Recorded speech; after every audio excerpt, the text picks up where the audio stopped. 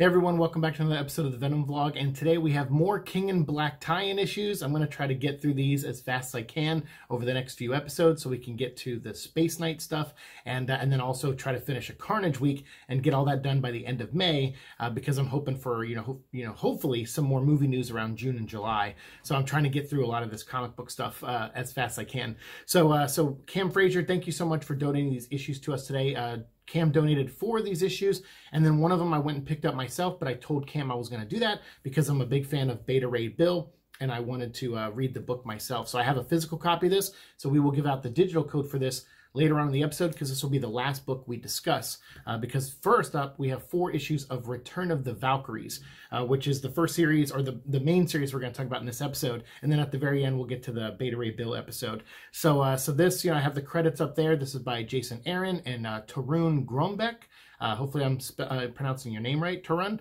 And uh, Nina Vakueva is the artist on this book. Um, and this series started off really neat because it starts off with Bob, uh, you know, our friend. Well, actually, it starts off and you kind of see a battle happening.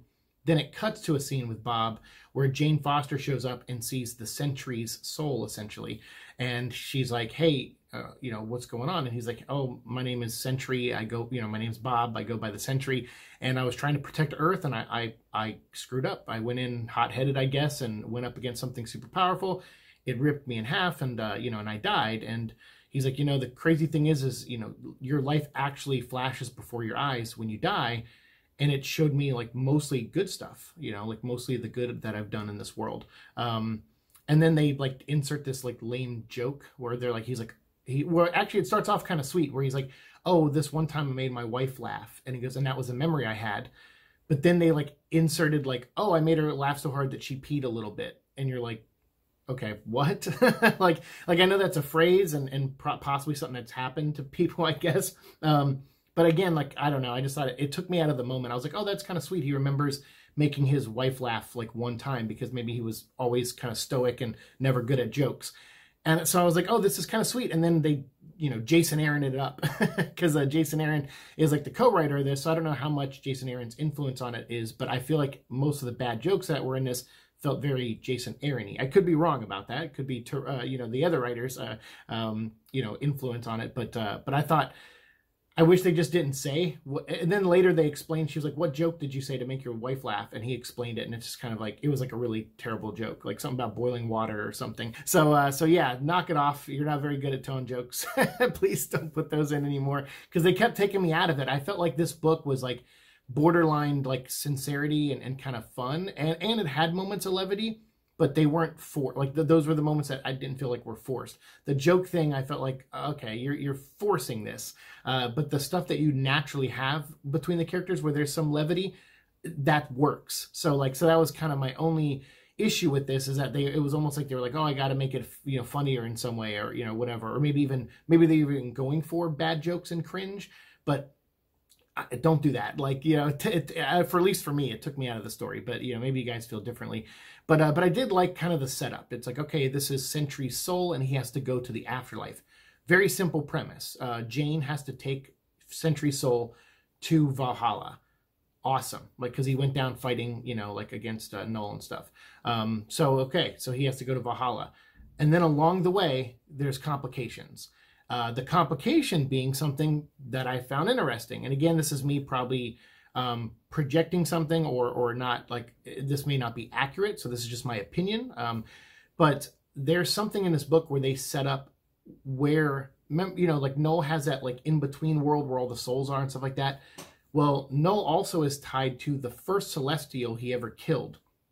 And that Celestial uh, that he chopped the head off of way back at the beginning of time, its body is still out there.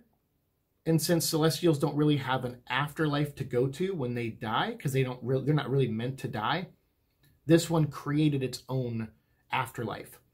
And it's been trapping beings in it uh, throughout the years, like uh, you know, like different, like uh, for example, uh, the Valkyrie, the original Valkyrie, uh, Brihilda or whatever. She's uh, she's one of the um, you know souls that are trapped in here. And she she's constantly like while we're cutting from jane and bob we're cutting to her um uh, Brunhilde. I'm, I'm think i'm butchering her name too uh, so i apologize uh, but she's like the original valkyrie. I think the one that's more based off of uh tessa thompson because i know the original valkyrie was like you know not that. She had blonde hair and like pale skin but like um this one is like more like tessa thompson. So she's like a, an older valkyrie.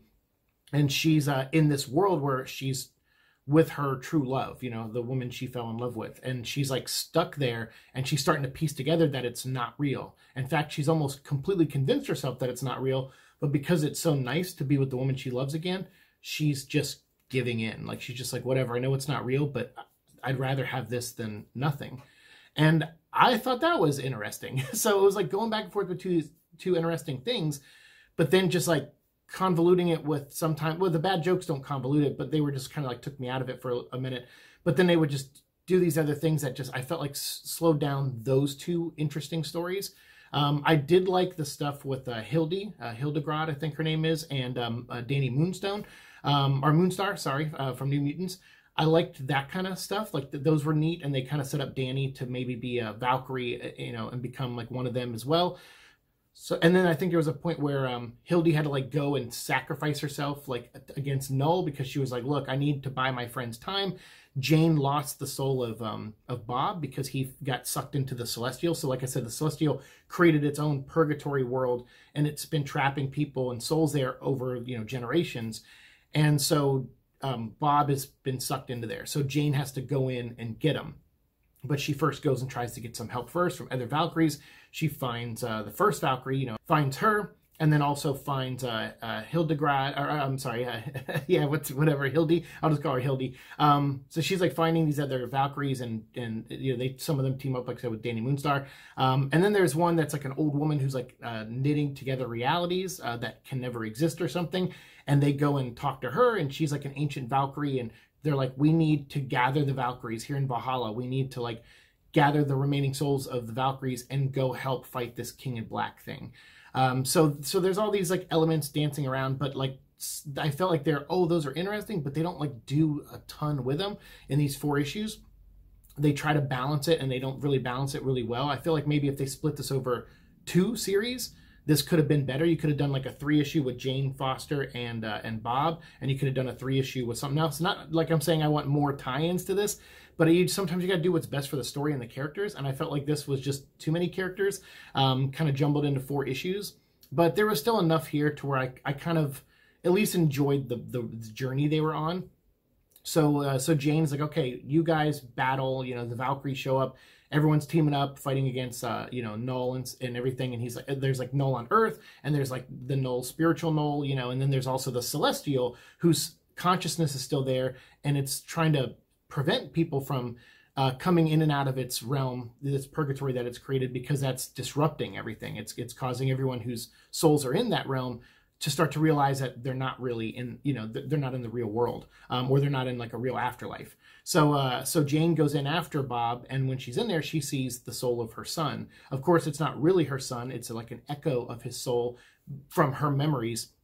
So she tests it, and once she realizes, she like says Humpty Dumpty something, and once the kid responds differently than the way the kid would have in the real world before, you know, Jimmy passed away, um, or Johnny, I can't remember. It starts with a J. Um, but her son his like she can tell hey this is not really my son so uh so so she's like okay uh celestial we need to talk and so jane has this like one-on-one conversation with the celestial while everyone else is fighting and i do like Dani moonstar she has this moment where she says what if we can go and prove our worthiness to Knull? maybe he'll spare us and they're like, uh, no, he's already decimated like tons of worlds. And then Dani's like, oh, okay, well then let's just go fight him. And I was like, oh, that that could have been something you could have developed and then have it crush Dani later. But it's like literally all done in like one page. And I was like, so again, I just feel like there's a lot of things here that maybe could have worked if they were fleshed out a little bit. Um, but uh, but overall, like these four issues aren't bad. I think they mainly exist to set up the new Valkyrie book, which is out now called The Mighty Valkyries. So it's more for that and less about King in Black. But what I liked is that there's very little dragon fighting in this. And what I was saying earlier, what I was starting to say, and I, I got, got sidetracked, which is um, they actually add to the lore, uh, kind of, uh, by making the Celestial have its own spiritual realm, they kind of add to the lore of the King in Black story overall, and that this is like this pocket purgatory where people are going, including Bob, who just got killed. He gets sucked into that world before he could go to Valhalla, where he's supposed to go. Um, and so I, I kind of liked all that because I think that actually adds something genuine to the whole King in Black Knull mythos and everything. Um, I thought that added something to it. And of course it would because Jason Aaron and Donny Cates are buddies. So I'm sure they probably did exchange an email or a phone call, whereas Donny, it doesn't seem like he spent any time talking to any of the, the other writers, or neither did the editor talk to most of the other writers doing tie-ins. They were just like, here, throw a dragon in your story. This felt like it was trying to add more to it. And I was like, well, of course it would. It's like a bias. Like it's like, hey, you know, Jason Aaron's my friend. So his book should have a little bit more substance than the other books. And I just was like, eh. Uh, so again, I, I, may be projecting and, and you know whatever there, but uh, but that's what it felt like when I was reading it. I was like, oh yeah, Jason Aaron's his buddy. So uh, and they exchange like you know ideas all the time. Uh, which is probably why I'm not a fan of really either of their writings most of the time. Yet I like this story and like some of Donny's stuff we've talked about in the Venom stuff. I see the potential. Like these guys are good writers. I think, you know, defaultly good writers. But then they get these ideas and they get these things and they go kind of crazy and then there's no one there to really like bounce creatively with them other than each other. Like so jason and, and Don, donny it sounds like from you know listening to a few of uh, donny's podcasts that he just calls jason and they'll or email him and they'll talk about ideas. I guess they're you know they're friends and stuff. So to me i'm just like ah you know i, I can see you two talk during this a little bit uh, but more so than you know Donny talked to others and again i could I'm could be just talking out of my ass with that. I'm just telling you how it felt while I was reading this. So anytime I got pulled out of the story, it was for these reasons where I'm like, I'm like, wow, this has more depth to it as far as like connections to Knull than most of the other tie-ins we've read. So it just feels it just and then I was like, well, who's writing it again? Oh, Jason Aaron. I'm like, he's like a co-writer, so I'm like, oh yeah, that makes sense. Like they're, you know, I think they're friends. So um, so yeah, so there's a little bit of that, but I, but overall, like the story itself is like like a typical Jason Aaron story. There's beats in it where I'm like, okay, this is not bad and stuff. But um, and he he does write Jane pretty well. Like I like how he writes the character, and there's some humanity in this, like with the you know seeing loved ones in the afterlife. Like each character has their moments, and actually Hildy towards the end when she's willing to sacrifice herself to fight Knull, she gets consumed by um the the symbiotes. And she says, you know, I thought in the end I would scream and go down screaming, you know, and bleeding. And she's like, but uh, I'm not. She's like, at the end, I just feel love. And so she's like, the, the suits are like consuming her and she's not fighting it anymore because she's already used the best weapon she could against Knull and it didn't work. So she's kind of like, but she did set up the thing. So she threw like this thread around Knull and his weapon. And they're thinking if they can separate the uh, the blade from Knull, it'll like weaken his grip on everything to an extent. And especially this afterlife realm where, you know, Sentry's being held, his soul's being held. So they kind of have that big plan where they're like, oh, maybe it can weaken Knull in the real world if we take the sword away from him, but it'll also weaken his hold and uh, and attachment to this celestial afterlife world uh, that he inadvertently created as well. And so she set that up. She sends the thread around it and then goes down, you know, with the symbiotes covering over. And when she says that, like, I only feel love at the end, I'm like, I like that. Like, that was another, again, a good moment. And uh, I actually really like the characters. Like that's what I got to say. My one takeaway from this is even though it had it was choppy and messy at times, like I wouldn't mind reading more adventures of these characters, maybe under a different writer. But uh, but I definitely I think but I think Mighty Valkyries is actually written by the same two people. So I don't know, maybe that's enough. Maybe without the tie-in of King in Black, um, maybe I, maybe I'll go give that book a chance. But I, I don't know. I'll probably wait till Comixology does like a graphic novel sale of it for like two ninety nine or three ninety nine and just buy it that way. Um, but I, am intrigued. I mean, I actually ended up liking some of these characters like Hildy and, and having the original or having the the Tessa Thompson looking Valkyrie come in um, and Jane. Like, I, I, yeah, I mean, the, like there's enough there to where I'm like, I like this. I mean, it's. I always say like when when I usually when I try to write like female characters and stuff, I try not to think of them as female characters. I just try to think of them as characters. So I'll go like, uh, all right, well, in this situation, male or female, I think it makes sense for the character to do this or do that. And then if the character happens to be male or female, it just uh, to me it feels more natural because you're just thinking, well, this is the the mentality of this type of person. This is like their how their brain works and, and this is how they react in certain situations. Doesn't matter if they're man or woman. This is how they they would react. Um, and then you tell the story that way. I I kind of got a little bit of that in this, and I liked that. That made me feel like okay, you're not just writing a book about you know women teaming up for the sake of women teaming up. Like there's a there's a reason for some of these things, and you're not writing them specifically with like where they have to remind you every page that they're women they're just kicking ass the whole time and i, I kind of like that there's a couple moments with that but not a ton and so i like that so overall like valkyrie um, return of valkyrie 1 through 4 um, i liked this series i, I thought i you know I, I had a couple hiccups and a couple problems but overall i thought it was it had heart to it and it had a little bit of humanity to it and I thought these uh, women in the book like kicked ass. Like I just thought they did. I wasn't a huge fan of the art. Some in some pages it was better than others, so the art was a little inconsistent for me. But um, but luckily the like the colors and stuff made the some of the pages that I didn't think the line work was good on still made them pop a little bit. And so I, I like that. And then there was a lot of good big shots with like Jane Foster with her wings, like flying, and you know uh, a Valkyrie, um, you know, on her ho- horse with the wings, and and she's like, uh, when did Valkyries get wings? And she's like, Jane's like, I'm the first one. uh, so uh, so yeah, it was it was kind of neat. Um, so I overall not bad actually. Um, a couple things I, you know that they could have tweaked and stuff, but I think there's enough here to where I might want to read more of these characters later on. Um, especially Hildy, I think I liked her the most.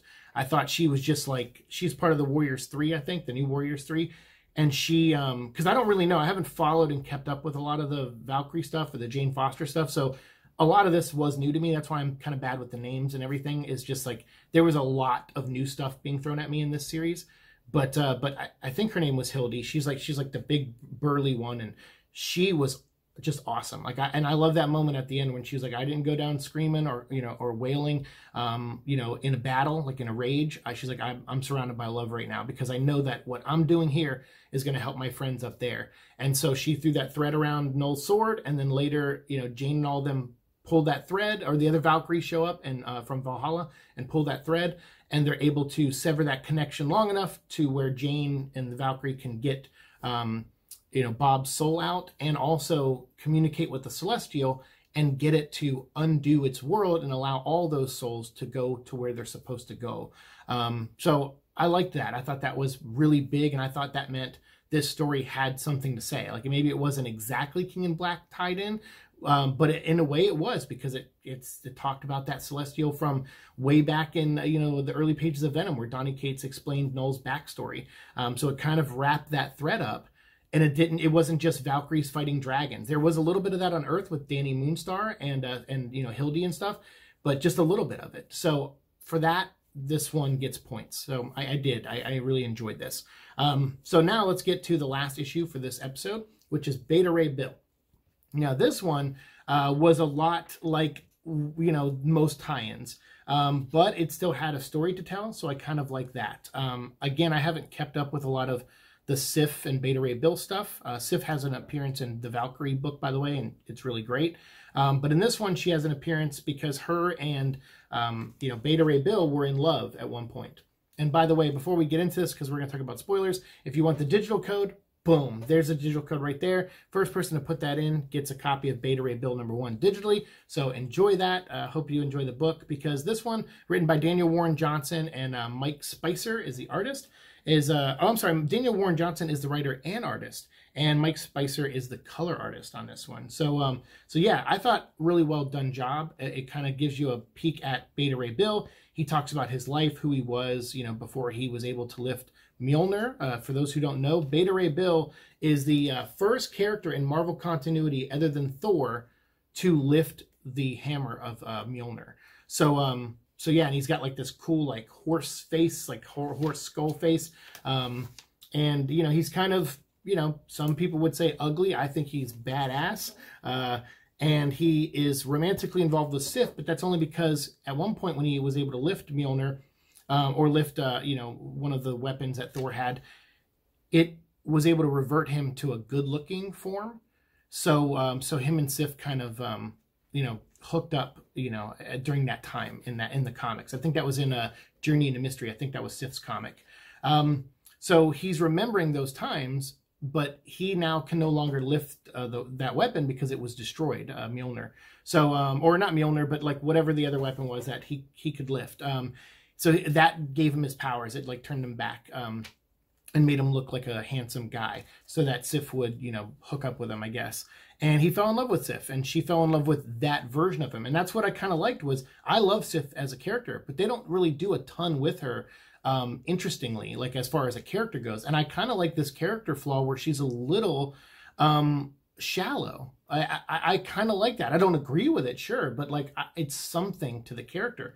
So so when she sees Beta Ray Bill, she's kind of like, hey, so like you know, you're gonna turn back into your other form. Like you know, I'm off duty right now, and maybe we can spend the night together. And he doesn't answer her, and he's like now thinking back to this battle where he was fighting Fin Fang Foom, who has been possessed by Knull, like a symbiote.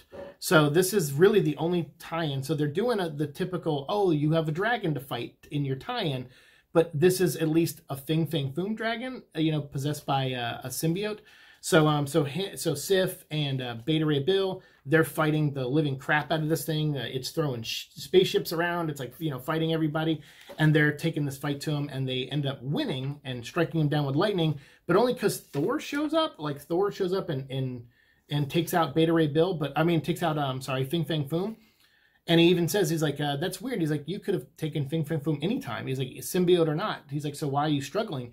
And Beta Ray Bill is pissed at Thor. He's like because my, you took my weapon and it's destroyed now and now i can't turn into my old self i don't have the power i used to so it's one of those stories where it's like um, they're going on that journey like they do with iron man sometimes where it's like are you the man or the suit? You know, and they've done that where Tony said that to Spider Man in one of the movies, like, are you the man or the suit? Um, you know, Captain America, are you the man or the shield or the symbol? Like, what are you? And that's kind of what they're doing with here with Beta Ray Bill. Is he the hammer that gave him those powers and turned him into a good looking guy so he could hook up with a hot girl? Is he that? Or is he is there something more to him, you know, underneath? And that seems to be the story they're telling. So I will definitely keep buying this book because I want to see what journey they take uh, Beta Ray Bill on. But after, which by the way, I don't understand in the timeline when this happens because if, if Thor's on Earth fighting Knull, how can he be here helping uh, Beta Ray Bill stop a Fin Fang Foom uh, possessed dragon in space thing? So I'm a little like, and actually I don't even think they're in space. I think they're actually on Earth. So I'm I'm a little confused that maybe this is like when Thor's on his way to go fight Knull, but yet he has moments to sit and gloat for a minute which seems weird. Like I feel like he would get right to fighting Knull. So again, timeline wise, like this doesn't make really any sense, and you could pretty much pluck the symbiote thing right out of the story and just have him fight Fin Fang Foom without the Knull possession, and then have Thor show up, and you could have said this happened after King in Black. There's no reason to say this is King. But in fact, they don't even put the King in Black dressing on it, which is why Cam, I don't think, bought this book. Um, uh, or maybe he did by now. I don't know. But uh, but that's why you know I wanted it because it's Beta Ray Bill and I want to read a story about Beta Ray Bill. But yeah, that's literally the only Knull reference on the cover is the spiral on Fin Fang Foom's head. But if you just took the symbiote off him, this story doesn't change. So once again, it just feels like a hollow tie-in. But at least they didn't super advertise it as a tie-in on the cover, um, unless they did on one of the variant covers. I don't know. Uh, but, uh, but at least they didn't on this one too much, other than the spiral. So at the end, you know, we have Beta Ray Bill talking to Sif, and she's like, okay, well, let's, you know, what's the deal? Are we going to go to my room or what? And uh, he picks her up and he's about to take her into the room. He takes off his shirt. I'm not going to show you the artwork because, you know, well, I guess I'll show you this page. So he takes off his uh, shirt and everything because he's still a ripped dude. Um, and uh, she's like, okay, so, you know, how's this going to work? And he's, she's like, what do you mean? And she's like, you're human form. Like, are, are you going to transform into it? Like, you know, what's going on here? and he goes, "Oh, uh, you know, I I can't. You know, um, ever since Donald Blake robbed me of Odin's enchantment, that's what it was. His uh, weapon is no longer enchanted because of Donald Blake. So I'm not really reading the Thor books right now, so I don't know what's going on over there. So apparently that happened over there. So he's like, "Yeah, I um, I can't turn back into the human form that you kind of fell in love with." And so she's like, "Oh, okay." And then he's like, "Oh, oh, what?" And she's like, "Well, look, I'm, I." she's like, I don't want to sound harsh. She goes, but I, I, I can't, you know, be with you intimately in your in this form, this like horse face creepy form. Uh, and he's like, ah, uh, okay. And he's like, so, and again, I don't mean to like say that she's shallow. I mean, I'm glad they didn't put a horse guy and her hooking up romantically in this book. I don't think the book needed that either. Um, but I do, but I mean shallow in the sense that um, handsome. Like she liked his his human form because she felt it was handsome, and so she cares more about that form than the guy inside. Technically, um, even if he's like a horse face guy. Uh, but I still, I still liked that mm, like message of like him going like, okay, and that moment of a Sif. Like again, maybe I don't agree with it, but characters are meant to have flaws, and sometimes you know you read a lot in comics nowadays where they don't always give characters flaws, um, particularly female characters. Sometimes uh, writers are afraid to do something with female characters that an audience might not agree with, and her kind of being like a little shallow. Um, or I should say particular. She's a little particular. Um, he, uh, you know, he it adds a little something to her as a character. And I like that. I think that's neat. Uh, I mean, again, I may not agree with what she's doing, but the, I agree with the act of giving her a point of view on something like this. So, um, so she's like, yeah, I can't be with you. And so he goes, okay, and he goes to his ship, the Skuttlebutt, and he's like, uh, prep the engines. You know, we're we're gonna leave this this place, and uh, we're gonna go find who we are. You know, we're going to find a new weapon. Uh, we're going to find a new lease on life. We're going to find ourselves. And so it seems like for the next four issues, it's going to be kind of a spiritual journey. And I like that. I'm, I'm interested. And I'm, I'm curious to see if Sif will factor into the rest of the story and, um, and if they'll build some kind of relationship where it's just not physical. Like, I mean, to me, I'm like, you could do that in a comic book. They can still be in love with each other and, and not, you know, she can kiss him on the cheek or something. Like, you know, but I don't know, but she's like a warrior, so she's about like killing and screwing a little bit. So, so maybe, maybe, but that then that could bring some change in her character where she's learning to, you know, ha, you know, have a more of an emotional connection than than a physical one. So I don't know. I'm, I'm curious to see where they go with this, but uh, I just thought it was a neat setup. It was a pretty decent issue. The art's pretty good too, um, but it just didn't need to be King in Black related at all. I just didn't need that. Um, but those are my thoughts. So, you know, you guys let me know, what did you think of the Valkyrie series? What did you think of Beta Ray Bill? Have you read these? Um, if so, let me know down in the comments. And if you haven't, you have any questions, things I didn't cover, uh, feel free to, you know, drop those in the comments too, and we'll continue the conversation as always down there. And I have uh, at least one more video I'm going to record, um, you know, for Cam Frazier, uh, more donations he sent, which is going to be Namor 1 through 5. I'm going to do that next, and I'll try to get these videos out to you guys very, very soon. So thanks so much for watching the show. As always, like, share, subscribe, all that fun stuff, and I'll see you in the future. Peace.